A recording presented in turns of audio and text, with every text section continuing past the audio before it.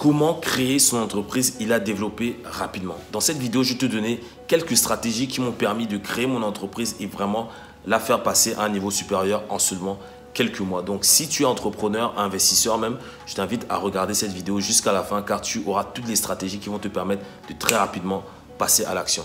Avant de commencer, je t'invite à faire trois choses. La première chose, c'est de t'abonner à la chaîne YouTube pour rejoindre des dizaines de milliers d'entrepreneurs et investisseurs. Surtout, n'oublie pas d'activer la petite cloche pour être notifié de toutes nos nouvelles vidéos. La deuxième chose que je t'invite à faire, c'est de mettre un pouce bleu car dès qu'on atteint un certain niveau de like, YouTube référence mieux la vidéo et ça nous permet de nous faire connaître un plus grand nombre de personnes.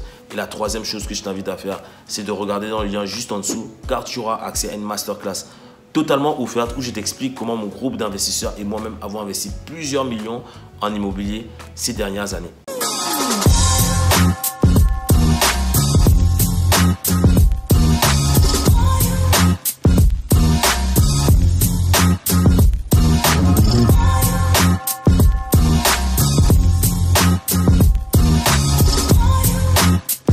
Alors dans cette vidéo, je me trouve toujours à Abu Dhabi, euh, chez des amis à moi. Je suis venu euh, rendre visite ici et je repars très bientôt à Dubaï. Alors dans cette vidéo, je vais te donner quelques conseils qui vont te permettre de très rapidement créer ton entreprise et aller super méga vite.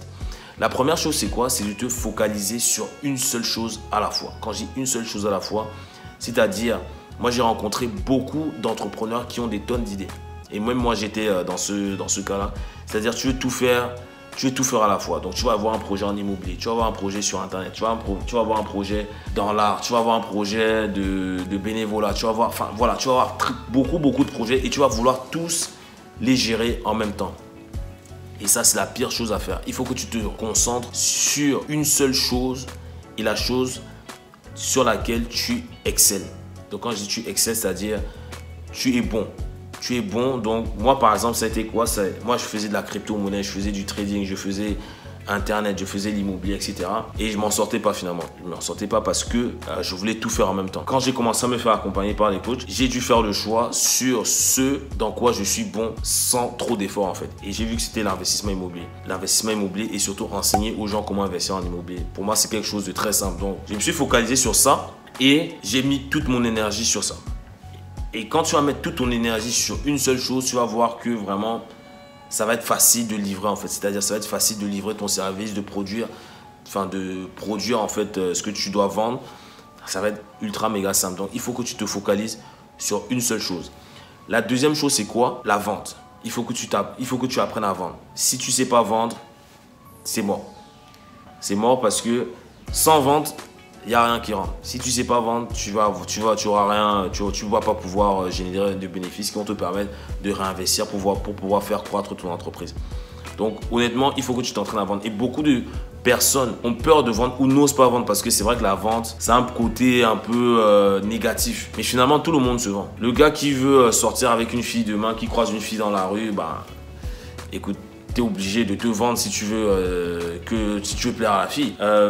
demain, tu veux euh, obtenir un emploi, tu es obligé de te vendre auprès du recruteur pour pouvoir obtenir l'emploi. Donc, dans tous les cas, on est obligé de vendre en fait. Donc, sans le savoir, tu es déjà un vendeur. Donc, il faut vraiment que tu sois excellent en vente pour pouvoir obtenir des résultats. Il faut que tu te formes à la vente. Tu n'as pas besoin d'être le meilleur en vente, mais au moins avoir les bases pour faire tes premières ventes. Puis, qu'est-ce qui va se passer? C'est quoi? C'est que tu vas pouvoir déléguer tes ventes à des personnes qui sont spécialisées dedans. Et c'est exactement ce que moi j'ai fait. C'est-à-dire que moi, au début, j'ai commencé à vendre moi-même. Et la vente, c'est quelque chose que j'aime la vente, mais je ne suis pas bon en vente. J'aime le fait de vendre, mais je ne suis pas bon en vente. Donc, c'est pas quelque chose. Et moi, je l'ai ressenti parce que j'avais du mal à vendre au début. Et très rapidement, je me suis entouré de personnes qui sont spécialisées dedans. Et ça m'a fortement aidé à passer au niveau supérieur. Donc, moi, je t'encourage vraiment à avoir les bases en vente. Et si la vente, c'est pas quelque chose qui est fait pour toi, il faut que tu délègues ça à des spécialistes le domaine. L'étape suivante également, et la chose que tu dois mettre en place, c'est de gérer les finances personnelles et les finances de ton entreprise.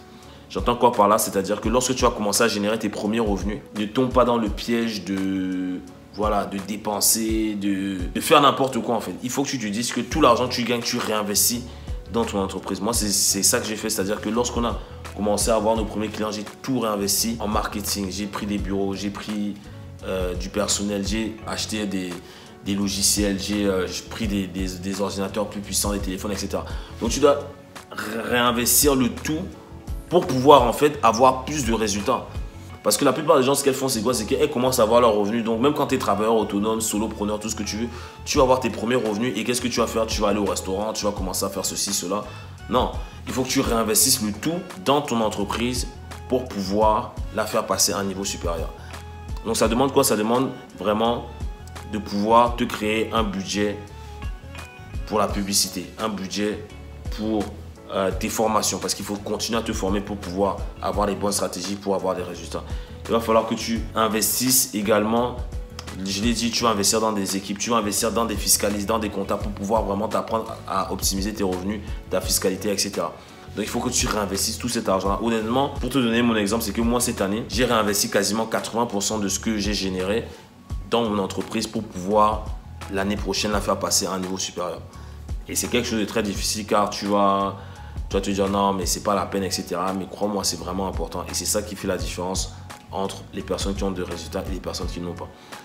La dernière chose également que tu dois prendre en considération, c'est ta clientèle. Beaucoup de personnes cherchent à faire du volume, mais moi j'ai appris quelque chose, c'est que moins tu as de clients, mieux c'est. Pourquoi? Moins tu vas avoir de clients, mieux tu vas pouvoir livrer ton service. Moins tu as de clients, mieux tu vas pouvoir faire le suivi, les gérer et comprendre en fait leurs problèmes.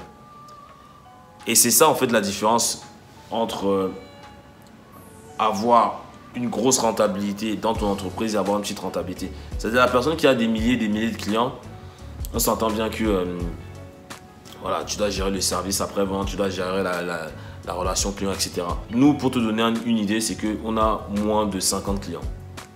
On a moins de 50 clients qu'on accompagne. On a, une trentaine de clients qu'on accompagne pour leur projet en immobilier. Et on s'arrête là. C'est-à-dire qu'on ne cherche pas à taper tout le monde et faire de la masse, etc. C'est-à-dire on accompagne seulement un petit groupe d'investisseurs pour atteindre leurs objectifs. Et pourquoi on fait ça? On se limite un petit groupe pour pouvoir être sûr que une grande partie de ces personnes-là atteignent leurs objectifs en immobilier. On s'entend bien que si on accompagnait des milliers et des milliers de personnes, ça serait plus compliqué à gérer. C'est pas impossible, hein. mais à mon niveau, parce que à mon petit niveau, je veux dire, c'est pas intéressant. C'est pas intéressant de vraiment viser un grand nombre de personnes. Et honnêtement, c'est aussi intéressant d'avoir peu de clients parce que tu as le privilège de sélectionner tes clients.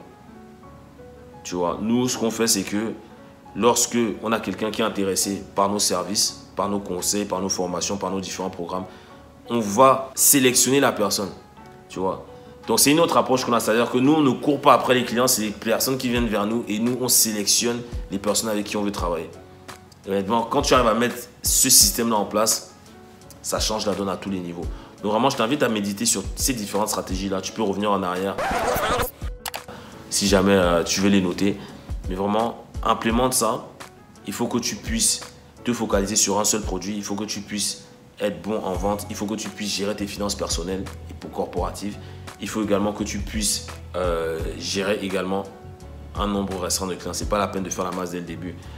Sauf si tu fais euh, dans, le, dans la grande distribution, etc. Mais si tu es, dans, si tu es solopreneur, que tu vends des conseils, que tu euh, accompagnes des personnes, moins tu as de clients, mieux c'est. Donc voilà. C'était tout pour cette vidéo. Si tu l'as apprécié, je t'invite à mettre des commentaires. Comment, dis-moi dans quelle activité tu es. Je t'invite également à partager cette vidéo à toutes les personnes qui souhaitent entreprendre ou investir en immobilier. Et moi, je te dis à la semaine prochaine pour une nouvelle vidéo, toujours aux Émirats, avant de repartir vers de nouvelles destinations. Allez, je te souhaite le meilleur et à très bientôt. Ciao